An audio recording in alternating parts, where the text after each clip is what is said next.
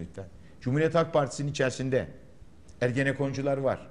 Evet. Cumhuriyet Halk Partisi'nin içerisinde PKK'ya zamanında sempati duymuş olan, şu anda CHP'nin içerisinde yer alanlar var. Süleyman Demirel'in etrafında yer alan insanlar var. Özellikle baronların, Amerika'ya sempatisi olduğu aleni olarak bilinen bazı tiplerin e, milletvekili olarak yer alması var. Tam bir karma. Siz bunun kendiliğinden bu kadar karman çurman bir şeyin bir araya gelmesine tesadüf diyebilir misiniz? Yani bakıyorsunuz geçmiş dönemde birisi diğerinin boğazını sıkmış. Öyle gözüküyor hep piyasada. Ama bir de bakıyorsunuz ki şu anda hepsi bir arada. Nasıl oluyor bu iş?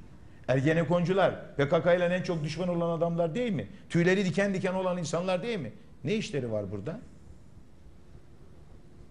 Süleyman Demirel'in yanındaki kişiler Cumhuriyet Halk Partisi ile en büyük kavgayı veren kişiler değil mi? Ne işi var burada? Hepsi dönüyor dolaşıyor baronlara ve yurt dışı ilişkilere bağlanıyor. Olay bu.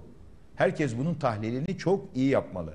Yeni Cumhuriyet Halk Partisi bu. Artık eski Cumhuriyet Halk Partisi yok. Baykal'ın Cumhuriyet Halk Partisi yok.